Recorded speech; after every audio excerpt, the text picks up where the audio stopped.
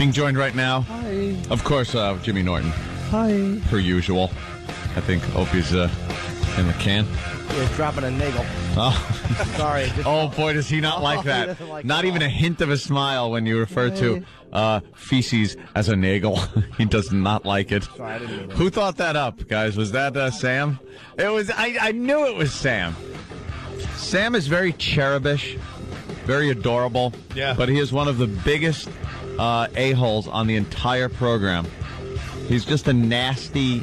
You're a nasty kid. He was a nice kid. You guys made him go intern with Scorch. What do you expect? Yeah, that might have done it. Colin Quinn joining us here also. Welcome, Colin. Hi, always guys. Good to, always good to have you on board. Colin! Like it's a ship. I've been listening on to, board. I've been listening to the show. It's great to be here on Aces Up with Lefty Rosenthal.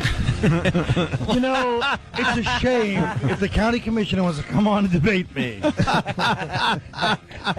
That's better drop it now. Hold on.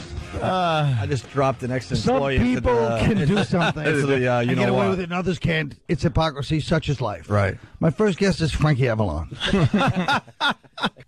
Uh, Scorch. Yes. Scorch. Colin loves this guy, Scorch. Well, Just a little back funny. history really fast. Ed and I, back in the day when we were working in Worcester, we worked at the same radio station as Scorch. And There, Scorch. there was something about him. We just, Yeah. we, we loved the guy from the first day we met him. And he would, he would come in with a boom box and he would set up his kingdom of nakedness.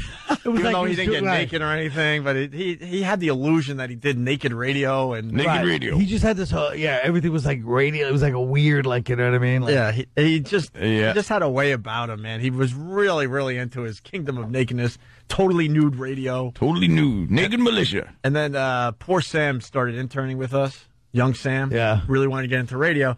And then we found out that he was uh, going to Syracuse University, right? Syracuse. And I go, wow, we got an old friend that does radio up there, His name's Scorch. So we uh, we basically forced uh, young Sam onto Scorch, That right? great.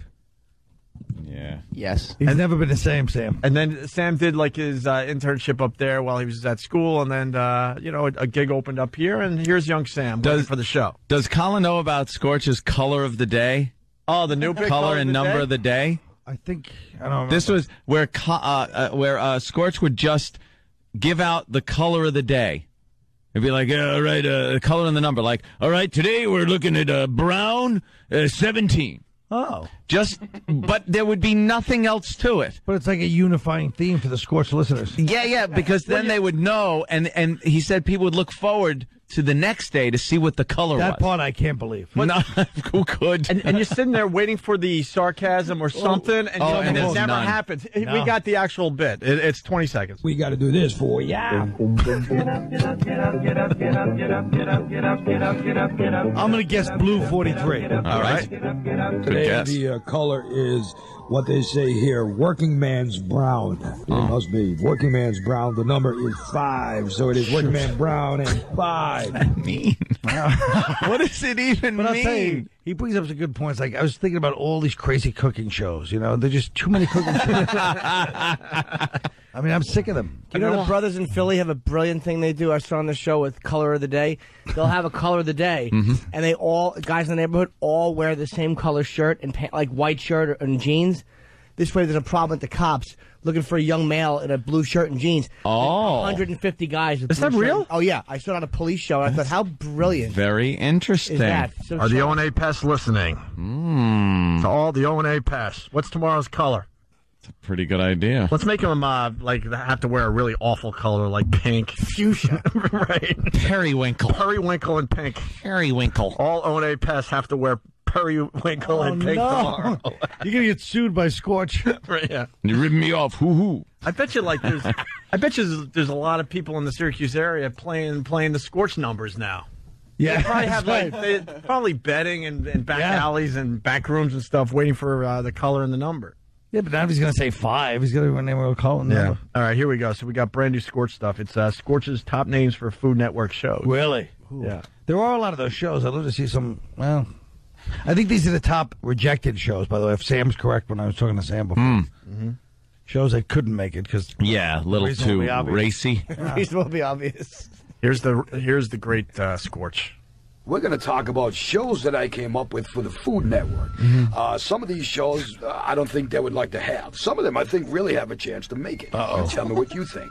For instance, uh, the Chef Lollipop show. You know, what I mean, the chef lollipop making show, and it's called "Mmm, that is a great cook sucker." You know, Whoa. that might You not. allowed to say that? Wait, wait. That might not. What's what's a cook? I don't. Well, a lollipop, you suck on it. Yeah, but a cook cooking show. Sucker. I don't get the it. cook made the sucker. The cook made it. Yeah, it's like a. But wouldn't that be a cook's sucker? Yes, or a, a cook. Uh, they'd probably call it a cook's lollipop. Right. No one calls a lollipop a a sucker. sucker. Don't be jealous usually when the guys wouldn't have the guts to do that in terrestrial. What's next? What's next? What's next? show, and it's called "Mmm, that is a great cook sucker." you know, that might not really have time to make it. That might not No, be the I agree easiest with one him. to get through the censors. The cook sucker. One, nope. You know, Don't go there. The cook sucker. He, really- I- he, I- he knows don't how to it. he knows how to sell it though. I like that one. Huh? I like that one. You like that one? How about this? I was going to have a show based on soups, but the soups weren't made from meat. They Hmm. were made from, you know, the muscles and the tendons and the bones, and the show was going to be called I Want to Bone You. Oh. I wait a minute. I want to bone you with the bones, There's bones in the soup. It's not meat, but bones. just bones in the soup, yeah. and and The funniest part of the whole thing is you guys making poor Sam go up and intern for him. Yeah. What a nightmare. Why is soup involved with boning you? Why Yeah. can't just be, I'll take the meat off and serve bones. What? Where does The whole thing is horrendous. But I want to know Why why are you soup picking that part? Yeah, yeah. How about we start with the concept? like the expression soup to bones. Like you. know? you, basically, you're saying I accept the concept of the bit, but now we got to nuts, like pick it apart. Right, right. But he's right though about uh, about cook sucker. Like that would never go. He is actually Yeah. a legitimate point. oh, is that what he's doing? Proving a point? You know what? Some of the shows I would be surprised if it did go these days. Uh, guys, Colin, you know. you watch The Bachelor. Stephen S. from Bayshore writes, uh, "You guys should have the uh, hmm, uh, the Opie's like, this is problematic. Uh well, we should have the colored of the day." Oh. I got you. But then he said we should have done that during Black History Month. That's uh, Stephen S. from Bayshore with that witty line. Bone you. Come on, how can you beat I Want to Bone You, you know? Oh, You- God. And this one really could have the chance to make it. This one is a barbecue show where the girls are just wearing bikinis and thongs and next to nothing, and the show is called Grills Gone Wild. Come on, that is a winner, right? That's a good one. Come on, that is a winner right there. This is crazy. Scorch knows what he's got in front of him. oh, does Yes, he? exactly. You know A what he big has? steaming pile of nagel. Oh, I was going to go radio niggle. he doesn't What he even has- look up and laugh. E-Rock. E-Rock. E-Rock's He- texting. E-Rock. He hates Can we, that. can, let's ask him on air. I want to Yeah. know what this bit's about because He I does like. not like this a bit at all. What is this bit, E-Rock? Oh, I didn't hear it. Well, aren't, Oh, aren't you? Paying attention to Aren't you show. above the fray? He's not even paying attention. He didn't want to hear. How do we expect the listeners to pay attention if the guy seven feet to my left isn't paying attention? E-Rock. What about that? I don't know. It's not my bit. Ask uh, Sam what that bit's about. Sam, comment. You know, it's a throw. It was a throwaway line at the time that I regret because I feel like it's gone wild and hurt people's feelings. throwaway line that was repeated over and over and over. I know they just repeated it after I threw it out there. See Colin quickly to bring you up to speed. Uh, around the office now, well, just for a little fun, off the air. Uh, whenever you refer to crap, you, instead of saying the, the S word, that is is that you uh, you say Nagel, Right. which is E-Rock's last name. I gathered so you go, oh my God, I stepped in some Nagel yesterday and I had to scrape it off my shoe, and he hates it. Of course he does. The Nagels have a long and proud history and being destroyed in one month here on the show.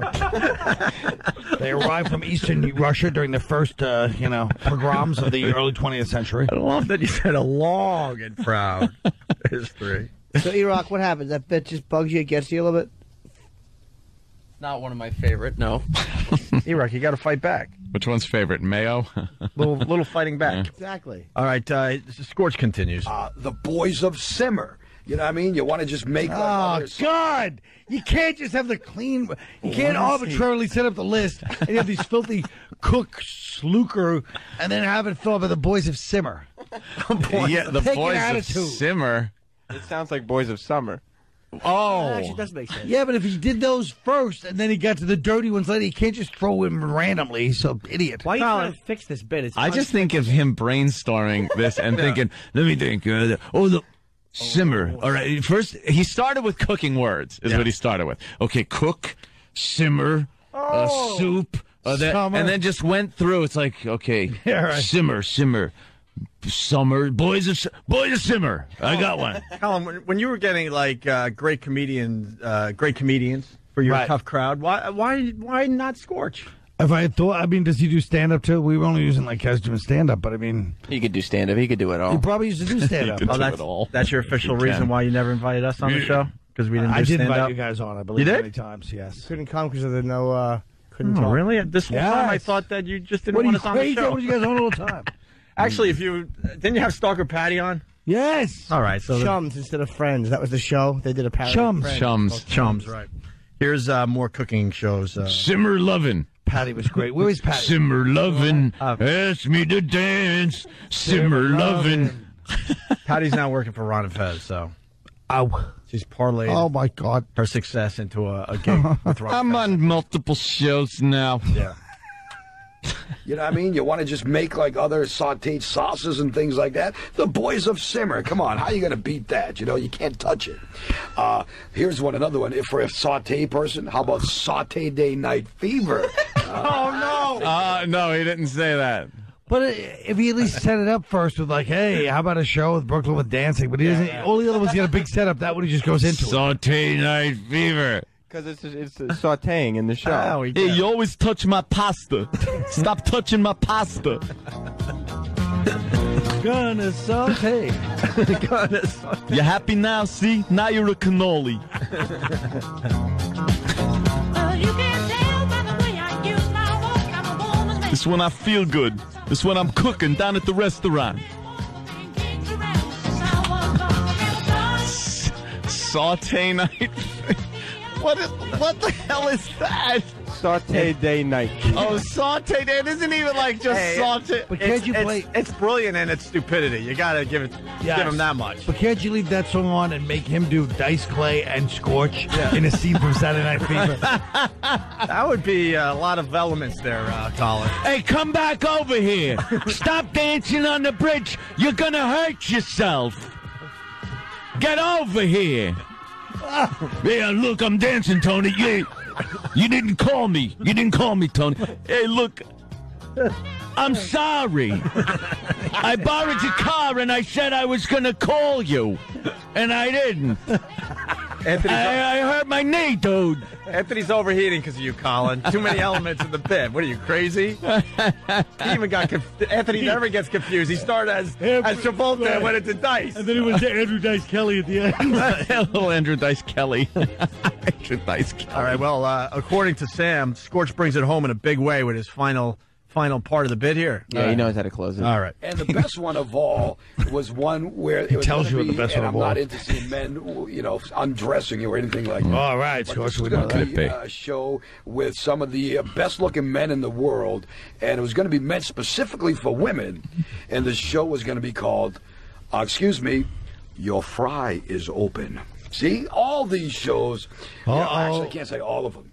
Some of them might not make it because of the title. But you know what? Grills Gone Wild? Come on, how can you beat that? A show with scantily clad women barbecuing food? Guys, you have to agree with me. Something like that Do I have would to? definitely be PFG.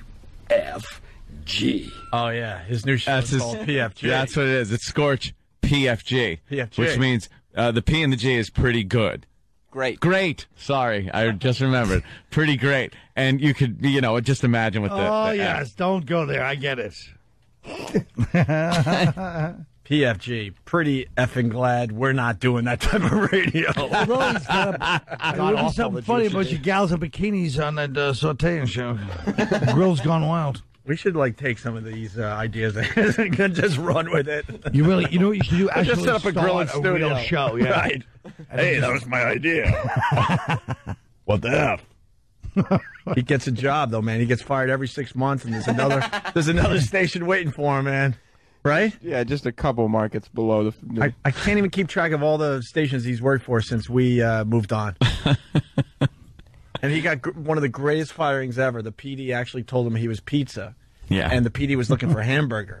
Yeah. That just kills me It's every not that- time I think about it. It's not that like pizza isn't good. People love pizza, but Scorch sat us down his last day at the station. Oh, guys, uh, just got fired. and explained the whole story how Dave Dickless sits him down and goes, uh, I'm looking, uh, uh, I'm looking for, uh, a hamburger around here. And you're, uh, you're pizza. you're pizza. Pizza's a good food. Pizza's good. People love pizza. But but we're looking for hamburger. Meanwhile, there's like no distinction if you're going to mention like a food ma- Yeah. pizza and hamburger in the same category. Yeah, exactly. It's not like Idiot. Yeah, it's a stupid analogy to make. Yeah. But Dave was stupid. On so many levels. We're gonna play a pizza or hamburger today. Pizza or hamburger. Call up. Tell me what you'd rather have. I'll tell you what I'd like to do: go home and watch that movie, The Pool. What's it called? Swimming pool. Swimming pool. Colin, write it down. Let me uh, write this out for you because you're going to get all confused and you're going to see some dumb movie that's not. Oh, that's where you're wrong. Y'all watch The Swimmer with Burt Lancaster. Remember that movie? oh god, I'm swimming through people's backyards. Why? Swimming. Pool. Why? From swimming That pool. movie stunk. I watched it as a kid. Yeah. And I just thought I was too young to get it. There you. And then I watched it when I, I got older and was like, no, it's just a stupid movie. 2002 because I think there's I think this was a remake. Sw- believe it or not, they had to remake this movie, Swimming Pool from 2002, uh, 2003. Sorry, William Shatner. Okay. Believe it, that's not the first name that came to mind. Either. no. the second name that came to mind. I think you had Tommy Lee on the tip of your There tongue. you go. All right, we got to get out of here. Colin Quinn, it's always a pleasure. You got Caroline's this weekend, Yep. 212 757 4100 starting uh, Friday night. Right? Anything else? Jimmy Jackson. Jimmy Jackson. Jimmy Jackson. Uh, see, yeah, Colin's longer. obsessed with uh, Ant's, Ant's My- old family member there, My Jimmy childhood. Well, he was just a friend of the family. Friend of the family, I should Yeah. say. Jimmy Jackson. I used you to love Jimmy his- Jackson stories? Run his rent string. yeah. My favorite Jimmy Jackson story was uh, him trying to sell the dead horse. The dead horse. My actually, my favorite was him dr- riding the drunken, uh, drunk in the chariot Yeah, yeah. down the street, and it the horse ran between two parked cars, and the chariot couldn't fit, so it just wiped out two cars. But he, the best was he convinced someone to buy a dead horse. He was able to show that the horse was still alive, even though it was it was Yeah. it was, as, it was as dead as dead is. yeah, he said he had to tranquilize it because it was so full of spirit. Right. How great is that? Jimmy Jackson rules. All right, remind us. We got to do uh, Jimmy Jackson stories on the next Opie and Anthony show. Colin, thank you so much. Colin, always a pleasure.